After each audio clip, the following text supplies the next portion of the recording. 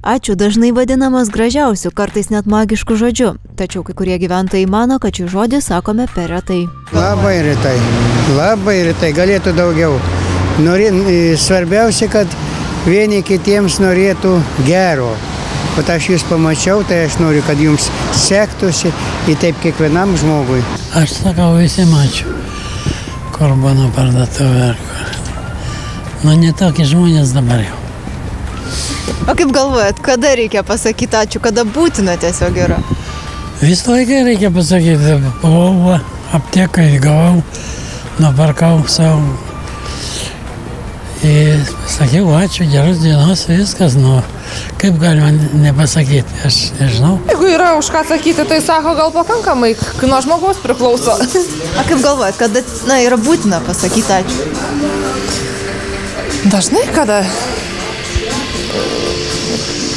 Kokie tie atvejai? Tai, na, na, yra, kada reikia padėkoti? Kad ir už pagalbą. Per mažai.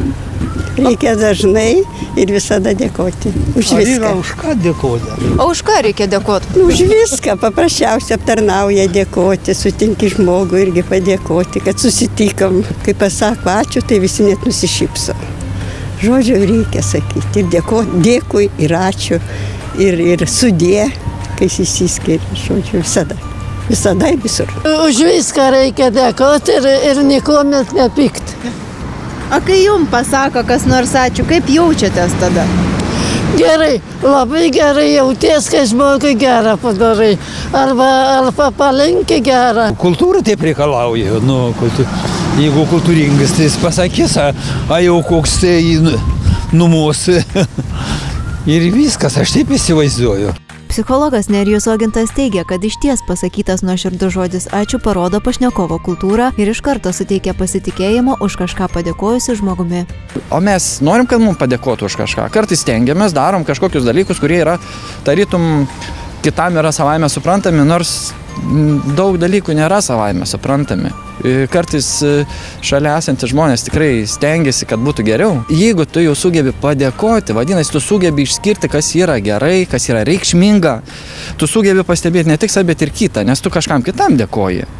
Nors, aišku, santykis su kitais ugdosi iš santykio su savimi, aišku, tai formuoja tėvai ir, ir savo reikia mokėti padėkoti. Tačiau net įrodas mandagumą parodantis žodis kartais gali būti nenuoširdus bei sukelti pašnekovui negatyvų jausmą. Paprastai žiūrint, nu, tai yra geros manieros, ten, sakykime, gebėjimas padėkoti yra kažkoks, nu, gerų manierų požymė, sakykime. Bet e, paslėpti savo juodus darbus galima po viskuo. Ir po gražiais dalykais gali paslėpti negražius dalykus. E, Tai aišku, galima taip pasakyti ačiū, kad, nu, pažiūrėjau, aš čia kalbu, kalbu ir jūs man taip nebaigus man kalbėsite, ačiū. Aš dar bandau kalbėti, jų ačiū.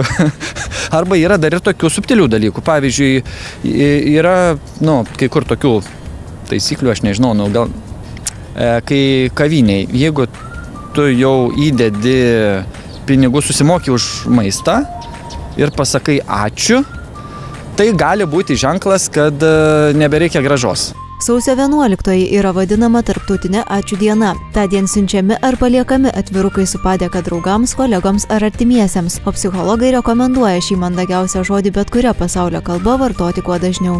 Netgi ir tyrimų buvo atlikta, kad dėkingi žmonės, jie e, jaučiasi laimingesni, laimės jausmas ilgiau išlieka. E, tai gebėjimas su stresu kovoti yra geri, nu, geresni rezultatai, net geriau miega, jie yra aktyvesni, daugiau sportuoja. Tai man sesutė perdavė, jau amžinatys nėra. Ir šitas įvykis buvo Ukrainoje dar. Jis sakė, tas žmogus, jeigu aš per dieną tris kartus užsidirbau nuoširdų ačiū, man diena neveltui praėjo.